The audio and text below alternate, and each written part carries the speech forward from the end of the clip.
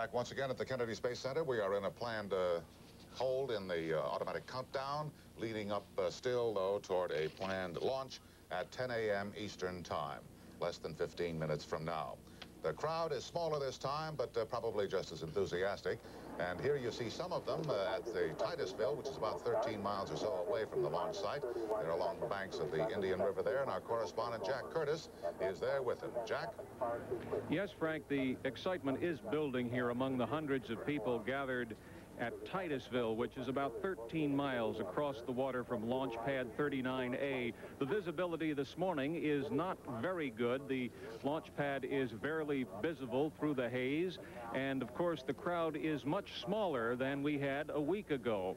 Partly it's that 31 second letdown last week and also the overnight technical problems that contributed to the skepticism as to whether this bird is going to go or not. Still, some people have returned to this exact spot and we'll be talking to some of them a little later. Frank? Okay, thank you, Jack. There's the beautiful blue sky with only a few scattered clouds above the launch site here at the Kennedy Space Center. We're going to go now to uh, the Johnson Space Center in Houston and Hugh Downs. Hugh? Yeah, Frank, I think it's interesting why they fire the main engines and get them up to 90% strength for a few seconds before they light these solid rockets. They can't turn off the solid rockets once they go. And once these engines are lit, they're not on center line, and the whole thing flexes. This is a little bit flexible like a fishing rod. It flexes 25 inches under the impact of the firing of these. So they have to wait until it sort of springs back. And when it's in line again, these are lit, and then it's centered enough to go and, uh, and not be uh, off its line of ascent. In a way, this stack, the orbit and its tanks and boosters, uh, it's a, a, living, breathing thing. It has metabolism. It, it uh, burns fuel, it develops temperature, it moves. And once we know it's also flexible, uh, we have the feeling that, uh, that it's more living than, than anything else. Frank? Thank you, Hugh. It is indeed more living than anything else, as you said. Well, we are still in the uh, planned hold at uh, T minus nine, but uh, in about uh, a minute or so, they will pick up the count and we're headed toward a 10 a.m. scheduled liftoff.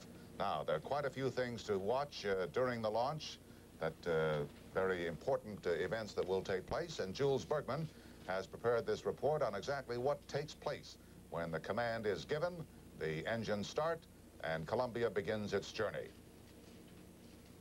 T-minus nine minutes, the count resumes. The launch director has now made the decision to go for launch. T-minus seven minutes, the crew access arm is retracted. Now the only method of immediate escape for the crew is by using the ejection seats.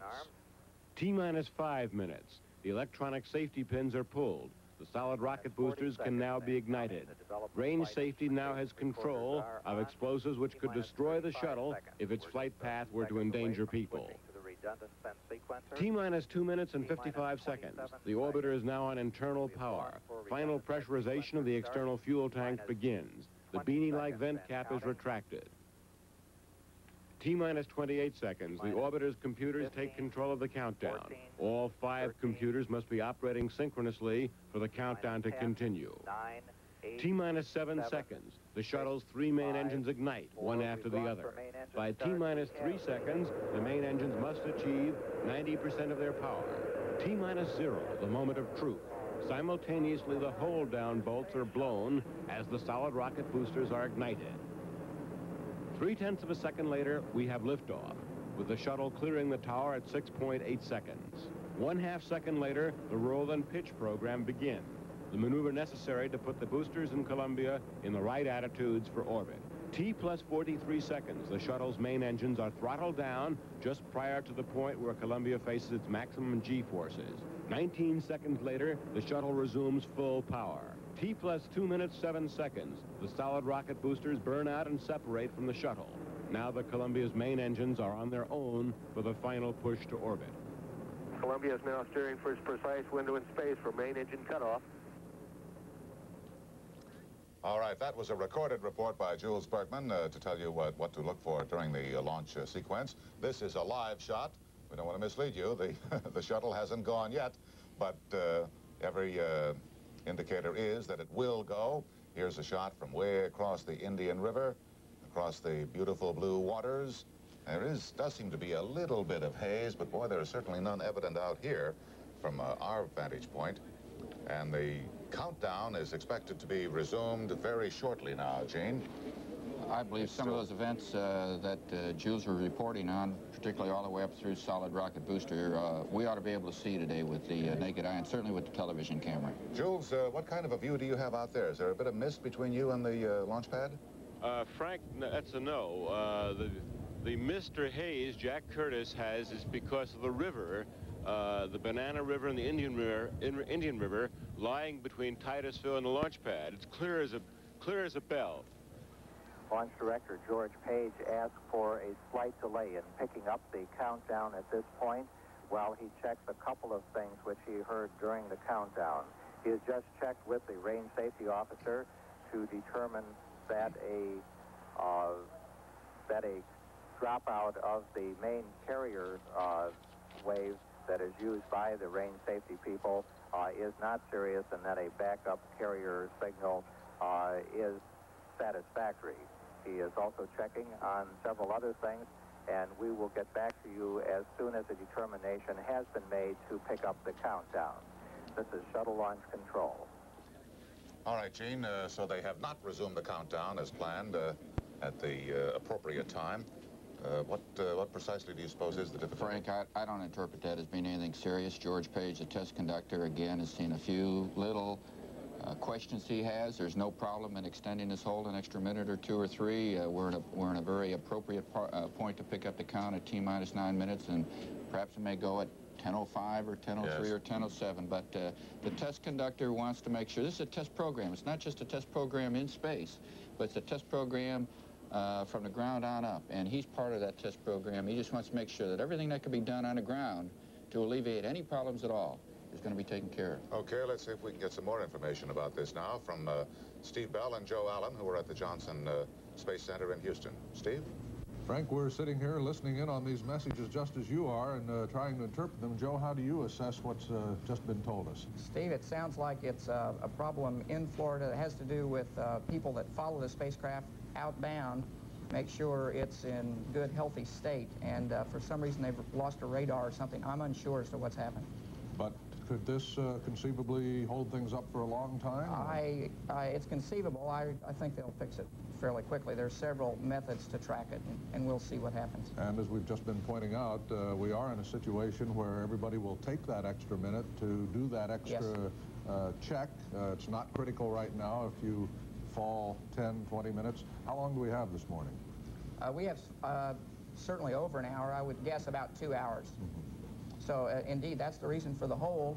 Uh, we have a choice of picking it up. So we can we can wait and be a little patient for a few right. minutes here. Okay, now you've been through all this in the simulators. You're looking forward to a mission in the future where it'll be your baby. Uh, what is an astronaut thinking about when you suddenly hear something like this? The countdown doesn't resume. Are you really busy or do you have time to think about what's ahead? Well, I think uh, Joe Engle said it well last time. He, uh, when heard some bad news, he said, take your time and get it right. I'm sure that's what uh, they're thinking right now. But you're not as busy. Uh, if things are on hold, you're more or less on hold too, aren't you? Voice of uh, shuttle control. Just checked on a number of problems which had come up during the countdown to determine that there are no constraints at the present time. He has spoken to the launch crew and says, let's take our time. It's been a hard one. Watch all your data, but we're going to do it right. Uh, he has uh, spoken to the uh, the crew and he's uh, to Joe Engle and to Dick Truly and said, we're going to give you a good one. We're in the process now of the test conductor going over the hold criteria with the launch team to let them know what points holds can be called and what the proper procedure is to call that hold. Uh, launch director George Page has told the launch team to take their time and do it right. We're standing by now to get word of the point at which we will be picking up at the T-minus nine minute point. This is shuttle launch control.